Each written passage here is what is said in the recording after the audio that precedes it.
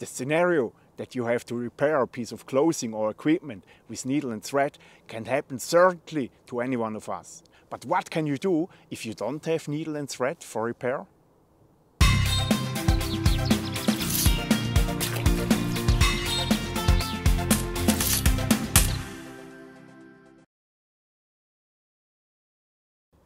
Hello YouTube! Welcome to another Swiss Army Knife project video. Today I will show you how to improvise needle and thread with materials you find here in the nature and the Swiss Army Knife. But before we start to collect the needed materials, I will show you a convenient way how you can carry needle and thread always with you. Every Swiss Army knife have cavities in various places in the closed state. For example under the wood saw, under the scissors or in a certain area between can opener and bottle opener. There you can store a sewing needle with one meter of thread which I wrapped around the needle. In this case I jammed the needle between the liners of the wood saw. So the needle can fall out if I open the saw or another tool.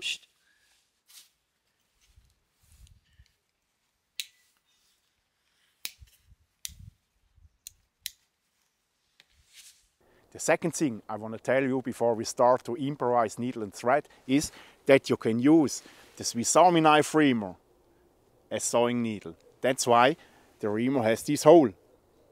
In this video I showed you a fantastic sewing technique with this tool. The disadvantage of sewing with a Swiss Army knife reamer is that the reamer pierces large holes. Sewing with the reamer works well for sturdy materials and fabrics, but if you have to repair fine things, you need something else. For example, such a needle, which I show you right now. So let's start with the needle. You can improvise a needle from bones, from hardwoods or from thorns. In my experience, thorns are harder than a splinter of hardwood. And of course, a bone would be the best material because this is the hardest. But hey, how should I find a bone in the next hour? I'm going to improvise a sewing needle from thorns from the black thorn bush. Prunus spinosa is his Latin name. This name you will find also in the description box below.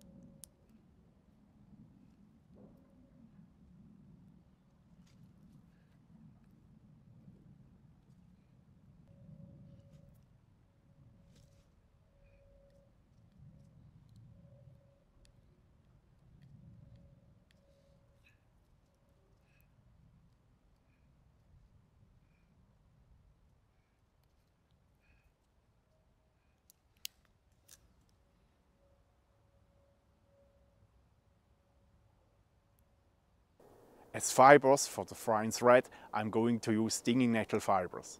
Now it's March, and of course I can only find plants from the last year. They are dry, this is not perfect, but it works.